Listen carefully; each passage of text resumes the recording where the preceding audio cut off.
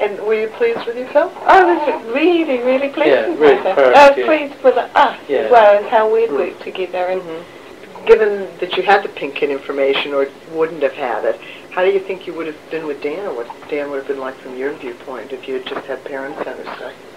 ah, I don't see, know, that- I don't yeah, because I don't, because the key thing for me was it was that Dan was at my shoulder, breathing the whole time Mm. through everything, and that you were there, and you also listened to me when I.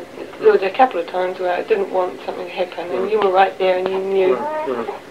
But we didn't But- say a word from sort of when you were bent over the sink being sick, when Yeah. Michelle first arrived, to when Harriet was born, we probably s- We said said five things to each five other. things to each other. It was all nonverbal. Well, it was to all anyone else. completely And we non-verbal. We didn't Yeah. say anything. No, we didn't. I didn't say anything. No. Yeah.